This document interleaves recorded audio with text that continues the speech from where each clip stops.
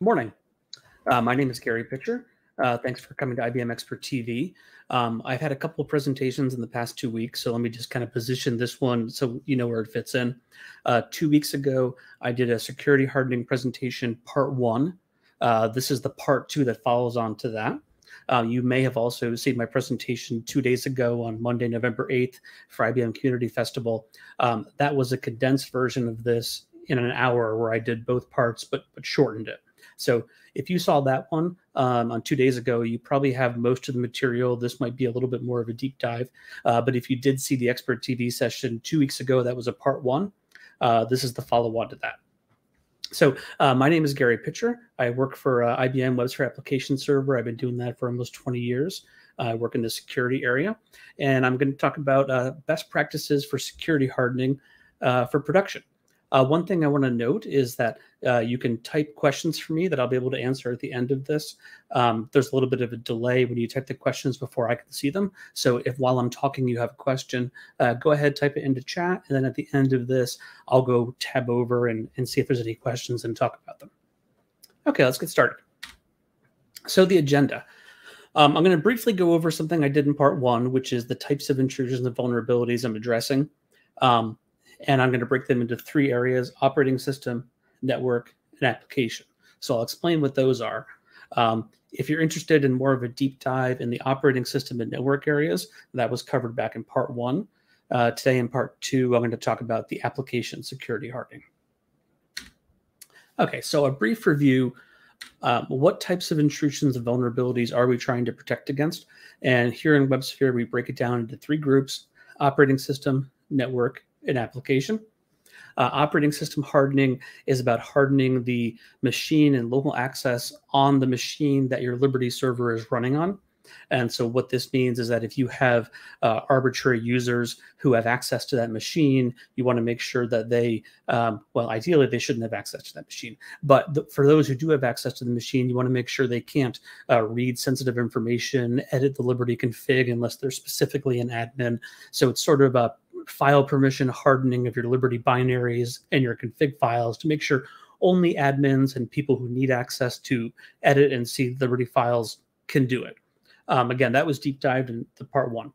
Uh, network intrusions and vulnerabilities are uh, people trying to intercept activity on the wire. So you might have a legitimate client on a browser, they're connecting to a remote Liberty application server, and maybe someone's in the middle trying to read that network traffic and either read something they're not supposed to or potentially insert uh, said data into the network traffic to corrupt the flow, uh, get access they're not supposed to have.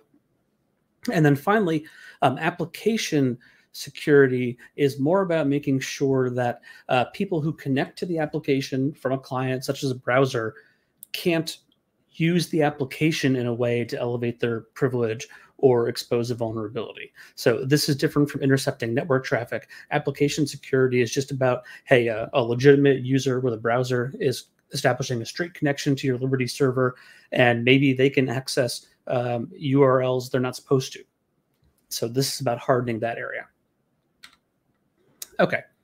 Um, also, just a note, uh, the first uh, expert TV session I did took a whole hour. This one is not. This is the third part application security hardening. So I'm expecting it to be about 20, 25 minutes or so, just so you know.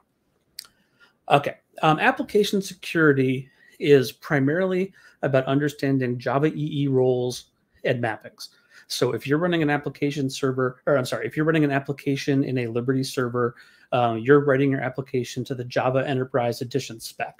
And that spec defines the ability to secure your application with roles and then it provides the ability well WebSphere Liberty provides the ability to map those roles to actual users or groups or special subjects in the target deployment environment. So let's break up that down into two steps. First of all protecting your application resources with roles. Uh, when you have an application it's packaged in a war file there's a web xml inside it um, as part of your application development you need to decide what endpoints you want to expose and who should have access to that. The problem is, if you're an application developer, uh, you might not know the target deployment environment. It, it, might be deployed in multiple target deployment environments. So as an application developer, you have to secure your resources with something called a role, which is something that you can sort of make up in a way. Um, so let's say that in your application, you have two or three uh, endpoints that you want people to access. Let's say one of those endpoints is an administrative endpoint, and one of those endpoints is uh, a general user endpoint. You would secure your application by saying, hey, any URL that ends with uh, a certain ending can only be accessed by people with the user role. And then you might have another endpoint, another URI that's only meant for administrators. And you would go secure that with the administrator role. And I'm going to go into more detail in future slides. This, this is just an overview. Um, and so, what the, as an application developer, you're kind of implying that hey, these resources are meant to be accessed by regular users, and these resources are meant to be accessed by administrators. But again, as an application developer, you don't know who those people are uh, in, in, the target employment, deployment environment. So there needs to be a second step uh, done by whoever's deploying the application, uh, some sort of system administrator, where they have to say, hey, I need to map all of the roles that the application developer um, assigned to actual users or groups or, or special constants in the target deployment environment. And so the way this is done is that the application developer can define the roles either in their web XML or using annotations. And then whoever is responsible for deploying or administering the app, um, they can define bindings in the IBM application BND um, files or in server XML. And in those bindings, they take the list of roles defined by the application and they say, oh, okay, uh, these URLs are meant to be accessed by users. So in on this deployment environment, that means a certain group ABCD. And the, this set of URLs is supposed to be accessed by administrators. Okay, in this deployment environment, all the administrators are in the Liberty admin group, for example. So there's a distinction between the application developer who's defining the roles and sort of giving a general idea of who should have access to it, and then the deployment environment where you're actually saying, hey, these are the actual groups in the target deployment environment who are associated with these roles. So let me break this down a little bit. Um, this is an example of defining a role in your web XML. So in this example here, what we've done is we defined a web resource collection uh, we've named it, which is optional. And we've said this web resource collection applies to the URL pattern slash my servlet. Um, so what the URL pattern is, it's the portion of the URL that comes after the protocol, the host, and the port. So if your um, server is located at https www.ibmexample.com, everything that comes after that slash my servlet, that that's what the URL pattern is implying. So if you look at the second bullet in this chart, if you define a URL pattern of my servlet slash my servlet and it's running in www.ibm.example.com, then this is the URL in the second bullet that will be protected by this web resource definition. Okay. After we've defined the web resource collection, we go on to define an auth constraint. And in the auth constraint, we've said, okay, this web resource collection is restricted to people with the a role role name. So in this example, uh, we've said any resource with a URL pattern of slash my servlet can only be invoked by an authenticated user who has the a role role. Um, now, one thing to point out here is I say authenticated user. When a browser tries to access a protected endpoint of the Liberty application server, the authentication flow will be kicked off by Liberty under the covers. And that's dependent on how the administrator has configured the authentication, uh, it, normally to an LDAP registry. So when you first hit a protected resource, Liberty runs the authentication flow and figures out who you are. Um, but then we have to figure out okay, now that we know who you are, are you associated with this role? Now, one thing to point out is with the URL pattern in this example, there are no wildcards. I just specified a URL pattern of slash my servlet. That means that if you have something after slash my servlet, like slash my servlet slash something else, uh, that's not protected by this role. Uh, but you can you can use wildcards. So um, I could have said uh, slash my servlet star in the URL pattern, and that would protect both slash my servlet and slash my servlet slash something else or whatever else.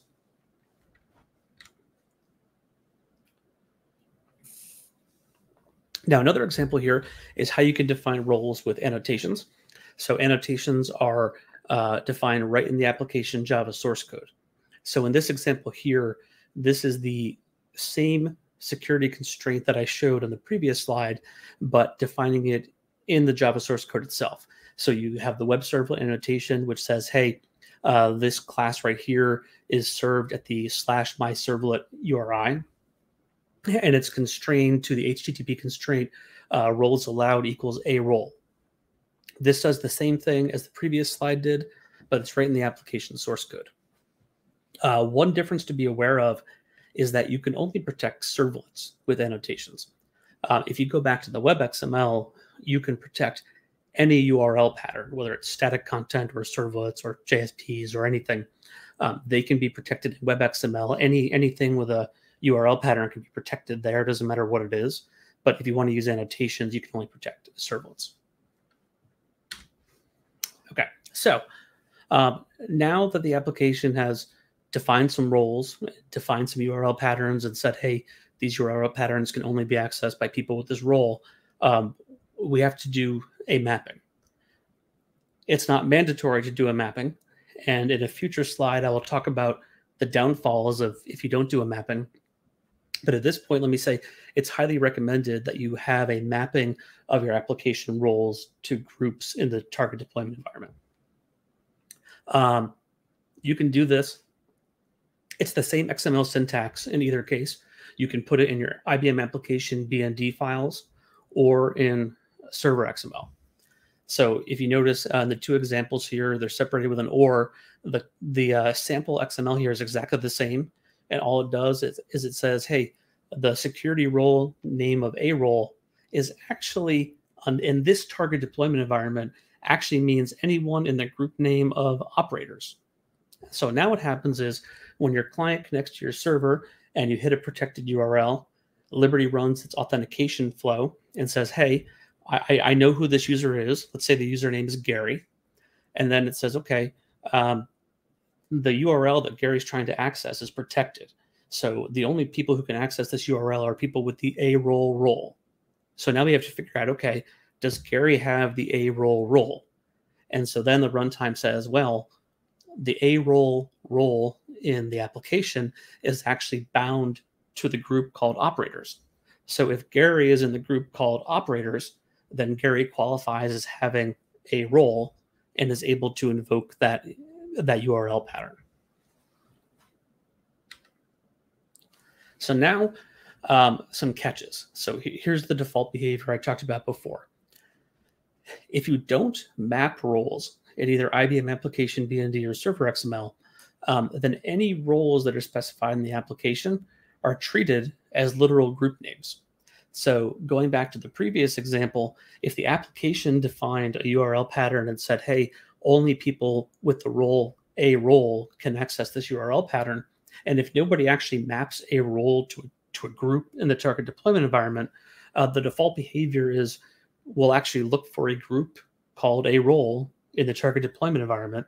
And if that group happens to exist and there are and the, and the authenticated user is a member of that group, they will be able to invoke that URL pattern. Um, that can lead to some unexpected behavior uh, especially if the roles defined in the application are pretty generically named. Um, so it's strongly recommended uh, that you do role mappings for all the roles in your application. Another thing to be aware of is any URL patterns that are not specifically protected by a role, either with an annotation or a WebXML, are unprotected. This means that you have to explicitly go in and define rules for every endpoint that you want to protect. Um, there's a way around that, which I'll get to, but that's the that's the default behavior. Uh, other things to be aware of: if there's a conflict with the security constraint definitions in uh, WebXML or via an annotation, the WebXML takes precedence.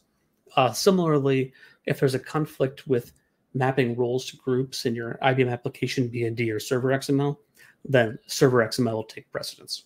So these are all default behaviors to be aware of. And now I want to move into to a best practice. So I've already said one of the best practices is to make sure you always map your roles to groups in the target deployment environment. Another best practice is for your application to add a rule that denies by default.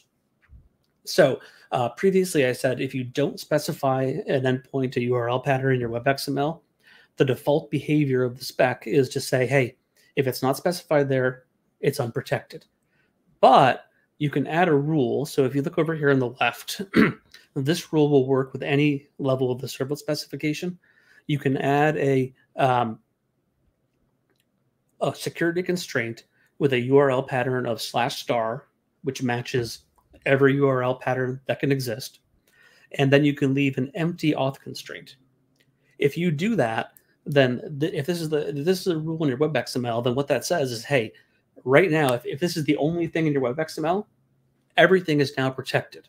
Uh, any endpoint that matches slash star, which is all of them, has no roles associated with it, so nobody can can execute it. This is a very good thing. Um, if you're running Servlet 3.1 or later, which most folks probably are by now, you can look over on the right of this slide, and there's a simpler way to do this. It's there's the deny uncovered HTTP methods element. You can add that into your web XML, and it does the same thing. So both of um, the bits of XML you see in this slide do the exact same thing. The one on the left will add a deny all rule for any level of the servlet spec. The one on the right will add a deny all rule for servlet 3.1 or later. So I would strongly recommend that all of your applications add one of these to the beginning of the web XML uh, so that everything is protected by default. And then you would go on after that to delineate the specific endpoints you want to expose and the specific roles those are associated with. However, there, there's a warning here. Um, if you do this and your application developers uh, update the application and add a new endpoint, and they expect that endpoint to be immediately accessible, um, they're going to be upset because um, this is the whole point. We've added this deny by default rule, and that means that if there are new endpoints that you're intending to expose, you need to go into this web XML and specifically add a rule to say, hey, here's a new endpoint we're going to secure, and here's the role it's associated with. Uh, again, this is exactly the point from a security perspective, but it's something for developers and deployers to be aware of because it does add an extra step when they want to add a new endpoint.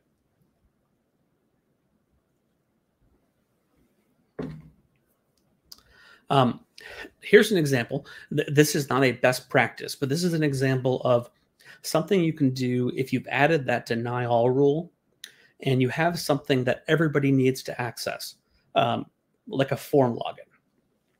So uh, just going over this a bit, if you never added the deny all rule that I talked about in the previous slide, then you'd be able to access uh, all the endpoints in your in your application unless they were explicitly guarded by a rule. But once you add that deny all rule, now you have to add uh, explicit rules for all your endpoints. But for something like a form login where the user hasn't even logged in yet, that needs to be accessible to everybody. So this is an example of if you have a form login and if you have already defined a deny all rule and you want to say, hey, but now I want to grant everybody access to the form login, um, you can do it with this method. So over on the left in your web XML, we defined a security constraint. Um, we've specified that any URL pattern that's exactly slash login JSP or anything in the images directory or anything in the CSS directory, and only when it's called with the HTTP GET method. For that, and anything that fits that pattern will be accessible by anybody with the all users role name. Now, does that mean anything? Well, not quite yet. Um, but at runtime, what we can do is over on the right in your application BND or server XML, you can map that security role of all users to something called a special subject with a type of everyone. And what that basically says is the all users role really means everyone. Um, anyone who can anyone who pings the server will be able to access uh, these URL patterns. There are also other special subjects like all authenticated users. And what that means is that if someone tries to access one of these URL patterns, Liberty will run the authentication flow. But as long as you're able to log in as anybody, you can access this pattern. Now, that wouldn't be appropriate for a form login, but you might have some resources in your application that anyone who can log into the server should be able to access. That would be where you would use the special subject type all authenticated users.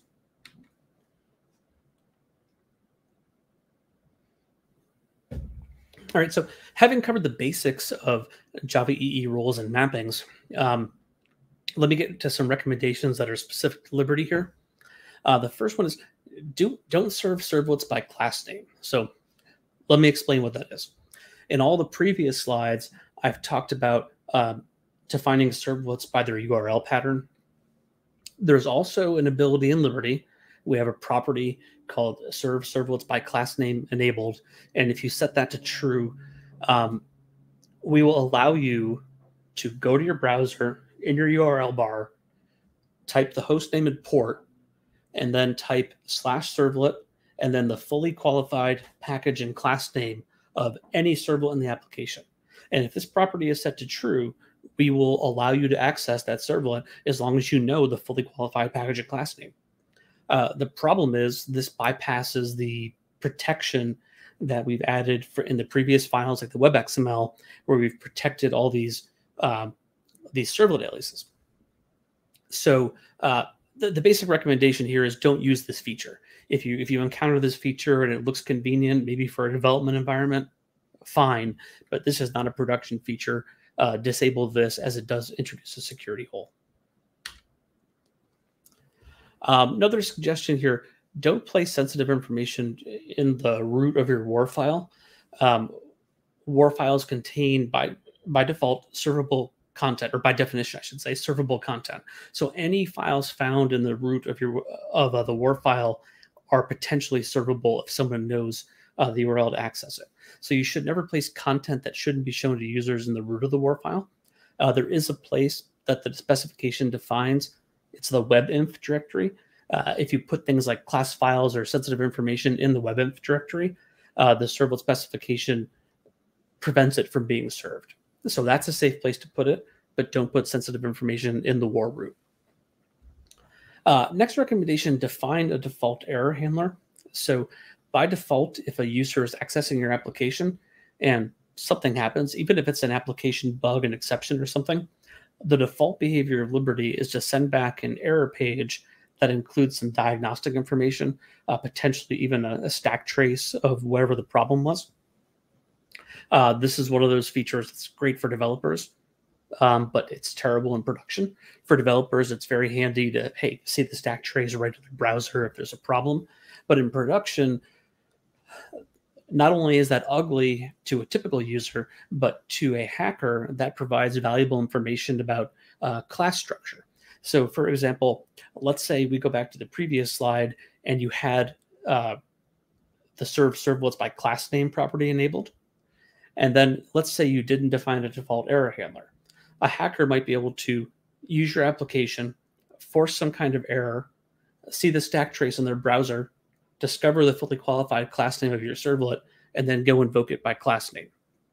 So this is something I talked about in my first in the first part of this presentation about stacking multiple defenses against the same type of attack. Um, you know you you never know. You want to be careful. If a hacker is able to bypass one level of of if a hacker is able to take advantage of one vulnerability uh, you want to limit what they can do with that to take advantage of further vulnerabilities. So by restricting the information a hacker can find out um, you make it harder for them to find ways to attack your server. But still, even though you've overridden the default error handler, you still want to take other mitigation measures like preventing serving servlets by class name to begin with. So by by doing multiple of these steps, we put multiple barriers in front of hackers who are trying to attack you. Um, this follows on from over from providing your own error page. Uh, there are also these properties you can set in your server XML to disable other ways that someone with a browser can discover what the runtime is. So similar to what I said earlier, if a hacker goes in and uses your application and causes an error and sees a stack trace, they can discover internal workings of your application. But similarly, a hacker can invoke the application and look at the HTTP headers that come back and maybe find out things like, oh, this application is running in Liberty, and maybe even find out the version or the JDK version. And so the, the set of properties here on this slide uh, remove all that information. So uh, we've disabled the welcome page. This by default is encountered if you just uh, go to the host with a slash. So uh, we want to disable that completely because that does say, hey, this is Liberty. Uh, we also want to remove server headers and the X powered by header. Both of those are intended to be informational to just give you information about the runtime, but can be abused by a hacker. So in a production environment, you want to disable all this information.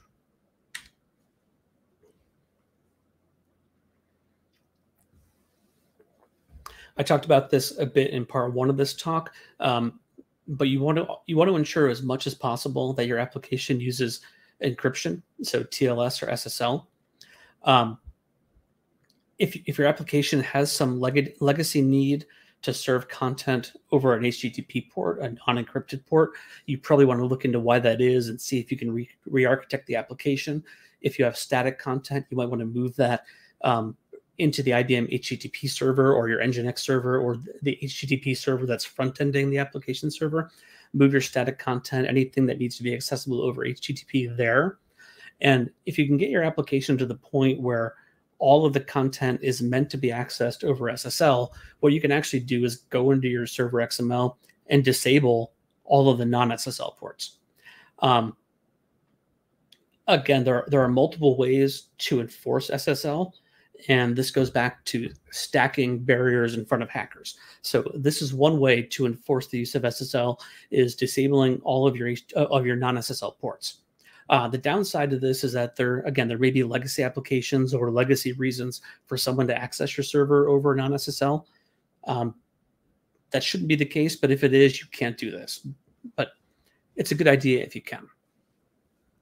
Uh, another thing you want to be careful of is securing cookies uh, Liberty has a couple of sensitive cookies. One of them is JSession ID. One of them is the LTPA token cookie. The JSession ID cookie contains information about your session.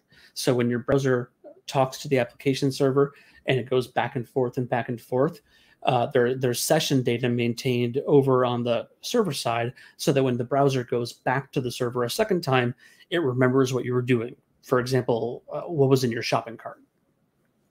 The cookie that connects that session to the browser is called JSession ID. However, if that JSession ID was sent over a non-SSL connection, it's possible for someone in the middle to intercept that network traffic, uh, steal your JSession ID cookie, and then maybe try to replay a request over to the, the server. The, the hacker could connect directly to the server and try to pass your JSession ID and access your session. So to avoid that, uh, we can set this property here in the second bullet to say HTTP session cookie secure equals true, which means that the server will only send the JSession ID cookie back to the browser if if it's over an SSL connection, an HTTPS connection. Similarly, uh, the LTPA token is IBM's proprietary single sign-on token. Um, like any single sign-on token, that needs to be protected. And so, by specifying web app security, SSO requires SSL equals true. Uh, that tells the Liberty server only send the LTPA token cookie when it's over an SSL connection.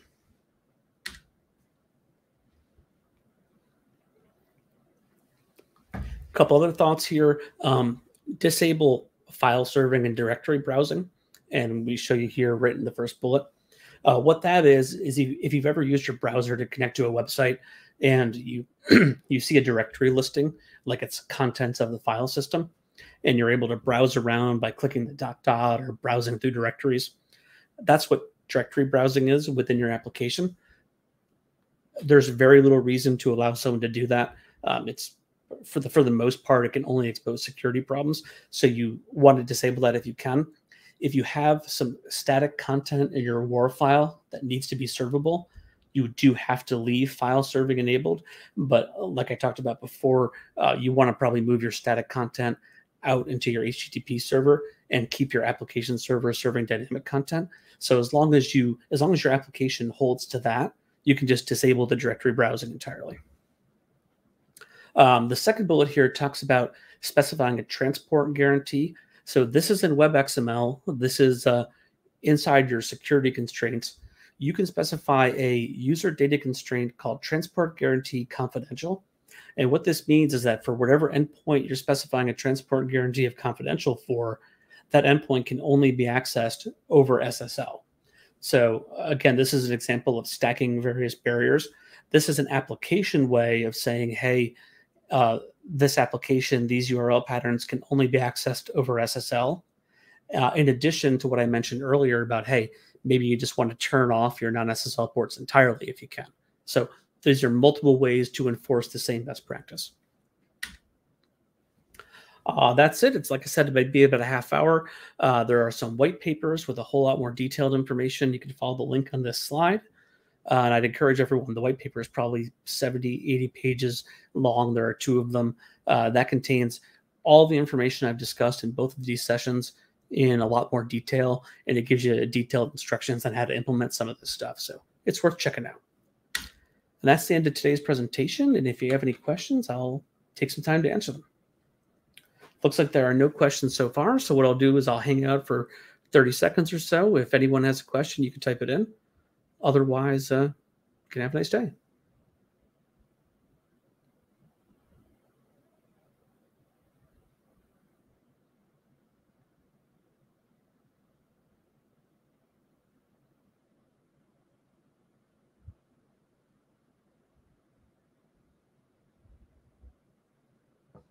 Okay, I don't see any questions popping up. So what I will do is uh, just mention uh, if you get these slides and go to the first one, my email address is uh, on the first. I do have a question. I'll get to it in a second.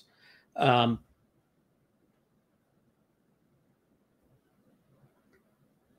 Okay, so I'll just read the question. So anyway, back to my first slide. Uh, my email address is on the first slide. Feel free to send me an email at any point if you have a question. I'd be happy to answer that. Uh, why not set defaults to true when securing cookies? So the question is referring to, let me go back to this slide. Um, it's a good question. Why not set the default? Uh, the the Liberty the way the Liberty design philosophy is we don't change defaults. So Liberty is probably about eight years old now. Um, as a general rule, we want to support backwards compatibility. So I don't have a historical answer to uh, why the defaults are false sometimes, but um, it is a best practice now to set it to true. And if we changed it in in service, we could break backwards compatibility. So I don't know the original answer to your question, but as a general rule, um, sometimes there's an old setting that we just can't change to not break customers, even though a couple years later we realize that, hey, this is really a best practice we should be telling customers to set.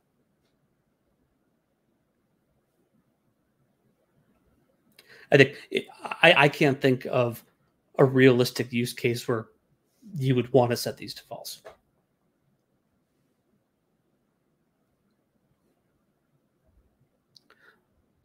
Okay, let me wait a little bit longer, see if there are more questions.